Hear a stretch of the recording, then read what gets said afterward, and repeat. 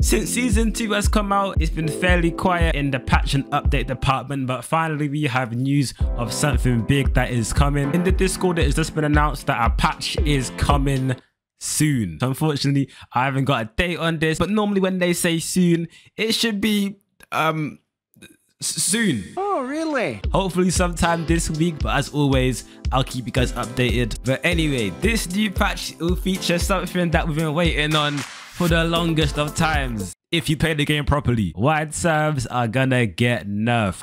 We did it! The patch will include a rebalancing of the serve attribute. As we all know, the servant attribute it, it, it doesn't really um, make sense at the minute. As this stat has a real minor impact on how efficient your serve is. Like you can easily like like like you can easily go with a 30 serve and still pretty much be fine and be acing. Paint the lines of the service box with no issue at all. But the, one of the main problems with it at the minute is that the power stat has a way too much of a factor on how good the serve is, if that makes sense. Players who max out their power and leave nothing on the serve will end up still having a, a pretty overpowered serve, which I guess makes sense, but I think it needs to be tweaked a little bit, which I hope this patch is doing, but I guess we'll see when it comes out. The serve patch will also focus on the deadly wide serve that most of us have been dealing with for a long time now. I can't like you guys that be doing it like game in, game out, like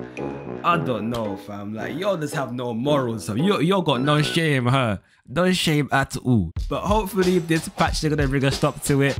And um yeah, but we're gonna be seeing some proper tennis out there. Finally. But I hope these serve adjustments is going to be is gonna spark a start of a sort of total rebalancing of the stat system as I ran a poll on whether Topspin 2K's attribute system is balanced. I guess it was kind of a vague question.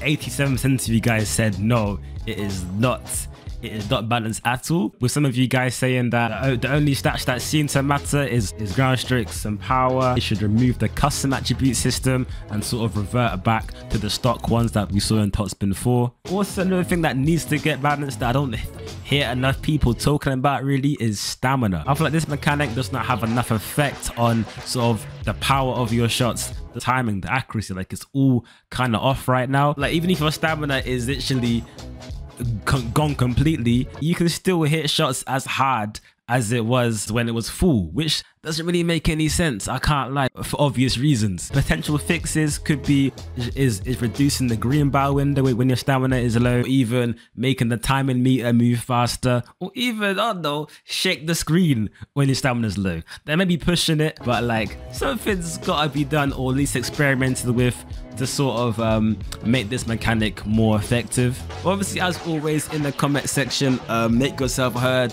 Let the people know the issues you've been dealing with and, and how 2K could fix them. Okay, I've rambled a lot in that previous section because it's only one other thing that is due to be fixed and that is matchmaking. This aims to make tweaks to increase the likelihood of matchmaking players with other of similar skill and experience which I'm quite surprised wasn't in the game um, at launch. I'm assuming the way they will sort of matchmake players is based on your win percentage, I'm guessing, or matches played. Hopefully, when they when the patch comes out, they sort of go into detail on what the variables are, if you know what I mean. And yeah, I guess it means that new players who are getting onto their game are not gonna get destroyed by you know someone in like the top ten in, in the in the in the rankings. You know what I mean? Which makes the over experience more fun for um both parties, right? As I guess as for me, I don't want to be playing against somebody who's literally just bought the game. Like, that's not going to be fun. We also have news on a Wimbledon eChamp event. That will be an online tournament open to all players to join. If you win it, you can be in a chance to win some very, very big rewards. Um, It's all on the screen now.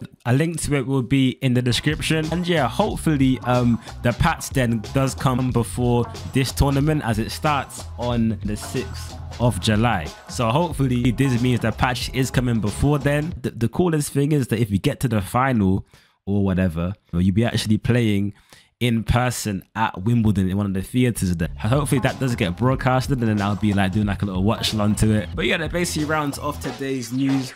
Um, hope you guys enjoyed it and we'll see you in the next one.